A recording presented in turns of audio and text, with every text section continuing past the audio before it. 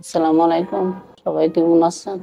আমার নাম দিলারা গরিব তেজ গত ষোলো দিন আগে ডিভোর্সে ভর্তি হয়েছি। আমি প্রথম যে হসপিটালে আছি, আসতে পারতাম না, পা পারতাম পারতাম না। অনেক ব্যথা করতো।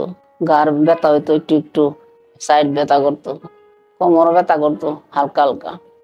হাঁটতাম, খুব কষ্ট হইতো ব্যথার জন্য। প্রচণ্ড ব্যথা হইতো গারে, অনেক কষ্ট হইতো। এই বয়সে ব্যথার জন্য যত কষ্টকর যে ব্যথা নাই বুঝতো না যে ব্যথা আছে বুঝব কি কষ্ট যে আছে। আল্লাহর রহমতে শফিউল্লাহ স্যার চিকিৎসা মোটামুটি ভালো আছি। মোটামুটি হাঁটতে পারি ব্যথাটা আগের মতন করে না।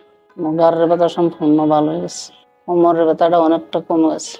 স্যার বলছে নিয়মিত ওষুধ খাইতে। আমার যে মেয়েটা দেখছে খুব কষ্ট করছে। আমার ঠিক মতো ব্যায়াম করাইছে।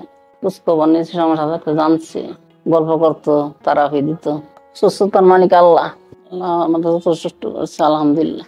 আমি হাজার হাজার শুক্রিয়া আদায় করি। আমার জন্য সবাই দোয়া করবেন। সারা জীবন সুস্থ ভালো থাকতাম।